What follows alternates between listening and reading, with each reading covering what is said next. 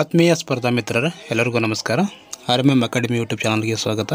ನಾವು ಒಂದು ಇವತ್ತಿನ ಒಂದು ವಿಡಿಯೋದಲ್ಲಿ ಮುಂಬರ್ತಕ್ಕಂಥ P D O S D A, ಕಾರ್ಯದರ್ಶಿ ಗ್ರೇಡ್ ಟು ಪರೀಕ್ಷೆಗೆ ಸಂಬಂಧಿಸಿದಂತೆ ಪ್ರಶ್ನೋತ್ತರಗಳನ್ನು ನೋಡ್ತಾ ಹೋಗೋಣ. ಅದು ಬಲವಂತರ ಮೆಹ್ತಾ ಅಂತಕ್ಕಂಥ ಒಂದು ಇಂಪಾರ್ಟೆಂಟ್ ಟಾಪಿಕ್ ಮೇಲೆ ನೋಡ್ತಾ ಹೋಗೋಣ. ಈ ವಿಡಿಯೋ ನಿಮಗೆ ಇಷ್ಟ ಆಗಿದ್ದರೆ ದಯವಿಟ್ಟು ನಮ್ಮ ಚಾನಲನ್ನು ಸಬ್ಸ್ಕ್ರೈಬ್ ಮಾಡಿಕೊಂಡು ನೋಡಿ ಅಂತ ಹೇಳ್ತಾ ಮುಂದೋಗೋಣ ಬನ್ನಿ. ಸಮುದಾಯ ಅಭಿವೃದ್ಧಿ ಮತ್ತು ರಾಷ್ಟ್ರೀಯ ವಿಸ್ತರಣಾ ಕಾರ್ಯಕ್ರಮಗಳನ್ನು ಅಧ್ಯಯನ ಮಾಡಲು ಮತ್ತು ಪಂಚಾಯಿತಿಗಳ ಸ್ಥಾಪನೆಗೆ ಶಿಫಾರಸು ನೀಡಲು ನೇಮಕಗೊಂಡಂಥ ಆಯೋಗ ಯಾವುದು ಅಂತ ಕೇಳ್ತಾರೆ. ಇದು ಬಲವಂತರ ಮಹಿತಾ ಸಮಿತಿ ಅಂತಕ್ಕಂಥದ್ದನ್ನು ನಾವು ಪ್ರಮುಖವಾಗಿ ನೆನಪಲ್ಲಿಟ್ಕೋಬೇಕಾದಂಥ ಒಂದು ಸಂಗತಿ ಅಂತ ಹೇಳ್ಬೋದು. ಈ ಬಲವಂತರ ಮಹಿತಾ ಸಮಿತಿ ಏನಿದೆ, ಸಾಕಷ್ಟು ಬಹ, ಬಹಳಷ್ಟು ಒಂದು ಪ್ರಮುಖವಾದಂಥ ಸಂಗತಿಗಳನ್ನು ಒಳಗೊಂಡಿರ್ತಕ್ಕಂಥದ್ದು. ಆದ್ದರಿಂದ ಇದನ್ನು ಸಂಪೂರ್ಣವಾಗಿ ಅಧ್ಯಯನ ಮಾಡಲೇಬೇಕು. ಎರಡನೇ ಪ್ರಶ್ನೆ, ಸ್ವತಂತ್ರ ಭಾರತದಲ್ಲಿ ಪಂಚಾಯತ್ ರಾಜ್ ಸಂಬಂಧಿಸಿದಂತೆ ಮೊಟ್ಟ ಮೊದಲ ಬಾರಿಗೆ ನೇಮಕವಾದಂಥ ಆಯೋಗ ಯಾವುದು ಅಂತ ಪ್ರಶ್ನೆ ಬರುತ್ತೆ. ಇಲ್ಲಿ, ಸ್ವತಂತ್ರ ಭಾರತದಲ್ಲಿ ಪಂಚಾಯತ್ ರಾಜ್ ಸಂಬಂಧಿಸಿದಂತೆ ಮೊಟ್ಟ ಮೊದಲ ಬಾರಿಗೆ ನೇಮಕಗೊಂಡ ಆಯೋಗ ಯಾವುದು ಅಂತ ಅಂತ ಅಂದರೆ ಸರಿಯಾದ ಉತ್ತರ, ಬಲವಂತರ ಮೆಹ್ತಾ ಸಮಿತಿ ಅಂತಕ್ಕಂಥದ್ದು ಇಲ್ಲಿ ಸರಿಯಾದ ಉತ್ತರ ಆಗಿರುತ್ತೆ. ಮುಂದಿನ ಪ್ರಶ್ನೆ, ಬಲವಂತರ ಮೆಹ್ತಾ ಸಮಿತಿಯನ್ನು ಯಾವ ವರ್ಷದಲ್ಲಿ ನೇಮಕ ಮಾಡಲಾಯಿತು? ಬಲವಂತರ ಮೆಹ್ತಾ ಸಮಿತಿಯನ್ನು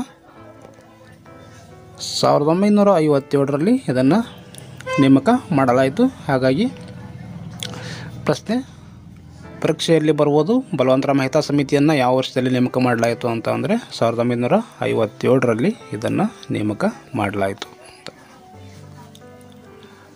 ಬಲವಂತರ ಮೆಹ್ತಾ ಸಮಿತಿ ತನ್ನ ವರದಿಯನ್ನು ನೀಡಿದ್ದು. ಯಾವಾಗ ವರದಿಯನ್ನು ನೀಡಿತು ಅಂತಕ್ಕಂಥದ್ದು ಇದು ಅತ್ಯಂತ ಪ್ರಮುಖವಾದಂಥ ಪ್ರಶ್ನೆ. ಪ್ರಶ್ನೆಗಳನ್ನು ಕೇಳುವಾಗ ಇಸವಿ ಮೇಲಿನ ಪ್ರಶ್ನೆಗಳನ್ನು ಭಾಳಷ್ಟು ಇಲ್ಲಿ ಕೇಳ್ತಾ ಹೋಗ್ತಾರೆ. ಹಾಗಾಗಿ ಸಾವಿರದ ಒಂಬೈನೂರ ಐವತ್ತೇಳು ನವಂಬರ್ ಇಪ್ಪತ್ತ್ನಾಲ್ಕು ಅಂತಕ್ಕಂಥದ್ದು, ನವಂಬರ್ ಇಪ್ಪತ್ತ್ನಾಲ್ಕು ಅಂತಕ್ಕಂಥದ್ದು ಇದು ಸರಿಯಾದ ಉತ್ತರ ಆಗಿರುತ್ತೆ.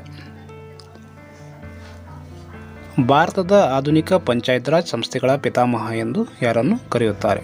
ಭಾರತದ ಆಧುನಿಕ ಪಂಚಾಯತ್ ರಾಜ್ ಸಂಸ್ಥೆಗಳ ಪಿತಾಮಹ ಅಂತ ಬಲವಂತರಾವ್ ಮೆಹ್ತಾ ಅವರನ್ನು ಕರೀತಾರೆ. ಬಲವಂತರಾವ್ ಮೆಹ್ತಾ ಅವರನ್ನು ಆಧುನಿಕ ಪಂಚಾಯತ್ ರಾಜ್ ಸಂಸ್ಥೆಗಳ ಪಿತಾಮಹ ಅಂತ ಕರೀತಾರೆ. ಮುಂದಿನದಾಗಿ, ಬಲವಂತರಾವ್ ಮೆಹ್ತಾ ಸಮಿತಿ ತನ್ನ ವರದಿಯಲ್ಲಿ ಎಷ್ಟು ಹಂತದ ಪಂಚಾಯತ್ ರಾಜ್ ವ್ಯವಸ್ಥೆ ಸ್ಥಾಪಿಸಲು ಶಿಫಾರಸು ಮಾಡಿದೆ. ಇಲ್ಲಿ ಸ್ವಲ್ಪ ಟೈಪ್ ಮಾಡುವಾಗ ಸ್ವಲ್ಪ ಮಿಸ್ಟೇಕ್ ಆಗಿದೆ. ದಯವಿಟ್ಟು ಕ್ಷಮೆ ಇರಲಿ. ಇಲ್ಲಿ ಬಲವಂತರಾವ್ ಮೆಹ್ತಾ ಸಮಿತಿಯು ತನ್ನ ವರದಿಯಲ್ಲಿ ಮೂರು ಹಂತದ ಪಂಚಾಯತ್ ರಾಜ್ ವ್ಯವಸ್ಥೆಯನ್ನು ಶಿಫಾರಸು ಮಾಡುತ್ತೆ. ಬಲವಂತರಾವ್ ಮೆಹ್ತಾ ಸಮಿತಿಯವರು ಸೂಚಿಸಿದ ಮೂರು ಹಂತದ ಪಂಚಾಯತ್ ರಾಜ್ ವ್ಯವಸ್ಥೆಗಳು ಯಾವುವು? ತ್ರೀ ಟೈರ್ಸ್ ವ್ಯವಸ್ಥೆಯನ್ನು ಅದು ಸೂಚನೆ ಮಾಡಿತು ಯಾವುದಪ್ಪ ಅಂತ ಅಂದರೆ ಒಂದು, ಎರಡು, ಮೂರು. ಇದು ಗ್ರಾಮ ಮಟ್ಟದಲ್ಲಿ ಗ್ರಾಮ ಪಂಚಾಯತ್, ಬ್ಲಾಕ್ ಮಟ್ಟದಲ್ಲಿ ಪಂಚಾಯತ್ ಸಮಿತಿ ಮತ್ತು ಜಿಲ್ಲಾ ಮಟ್ಟದಲ್ಲಿ ಜಿಲ್ಲಾ ಪರಿಷತ್ ಅಂತಕ್ಕಂಥದ್ದು ಇಲ್ಲಿ ಪ್ರಮುಖವಾದಂಥ ವಿಷಯ, ಇದನ್ನು ಸರಿಯಾಗಿ ನೆನಪಲ್ಲಿ ಇಟ್ಕೊಳ್ಳೇಬೇಕು. ಯಾಕಂದರೆ ಬಲವಂತರಾವ್ ಮೆಹ್ತಾ ಸಮಿತಿದು ಬೇರೆ ಇದೆ, ಮತ್ತು ಗಾಡ್ಗಿಲ್ ಸಮಿತಿದು ಬೇರೆ ಇದೆ. ಸಿಂಘ್ವಿ ಸಮಿತಿದು ಬೇರೆ ಇದೆ, ಅಶೋಕ್ ಮೆಹ್ತಾ ಸಮಿತಿದು ಬೇರೆ ಇದೆ. ಹಾಗಾಗಿ ಬೇರೆ ಬೇರೆ ಇರ್ತಕ್ಕಂಥದ್ದನ್ನು ನಾವು ಮುಂದಿನಂತೆ ನಾವು ನೋಡ್ತಾ ಹೋಗ್ಬೋದು.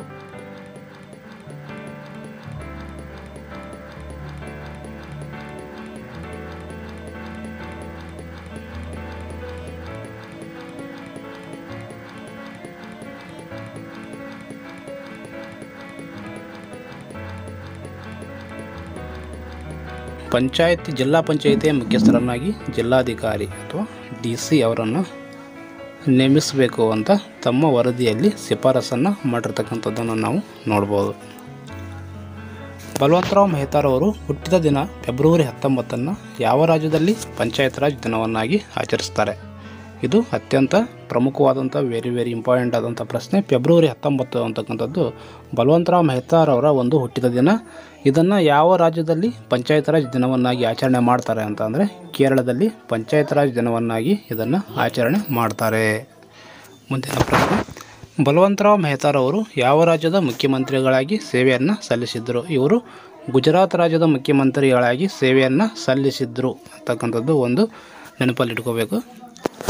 ಬಲವಂತರಾವ್ ಮೆಹ್ತಾರವರ ಶಿಫಾರಸಿನಂತೆ ಮೊದಲ ಬಾರಿಗೆ ಪಂಚಾಯತ್ ರಾಜ್ ಸಂಸ್ಥೆಯನ್ನು ಆರಂಭಿಸಿದ ರಾಜ್ಯ ಯಾವುದು ಅಂತಂದರೆ ಇದು ರಾಜಸ್ಥಾನದ ನಾಗೂರ್ ಎಂಬ ಎಂಬ ಎಂಬತಕ್ಕಂಥದ್ದಲ್ಲಿ ನಾಗೂರ್ ಎಂಬ ಒಂದು ಪ್ರದೇಶದಲ್ಲಿ ಇದನ್ನು ರಾಜಸ್ಥಾನದಲ್ಲಿ ಆರಂಭ ಮಾಡ್ತಾರೆ. ಜವಾಹರ್ಲಾಲ್ ನೆಹರು ಅವರು ಇದನ್ನು ಉದ್ಘಾಟನೆ ಮಾಡ್ತಾರೆ ಅಂತಕ್ಕಂಥದ್ದನ್ನು ನಾವು ನೆನಪಲ್ಲಿ ಇಟ್ಕೋಬೇಕು ಇದು ಕೂಡ ಒಂದು ಅತ್ಯಂತ ಪ್ರಮುಖವಾದಂಥ ಒಂದು ಪ್ರಶ್ನೆ. ಮುಂದಿನ ಪ್ರಶ್ನೆ. ರಾಜಸ್ಥಾನದಲ್ಲಿ ಮೊಟ್ಟ ಮೊದಲ ಬಾರಿಗೆ ಯಾವ ದಿನಾಂಕದಂದು ಪಂಚಾಯತ್ ರಾಜ್ ಸಂಸ್ಥೆಯನ್ನು ಸ್ಥಾಪಿಸಲಾಯಿತು?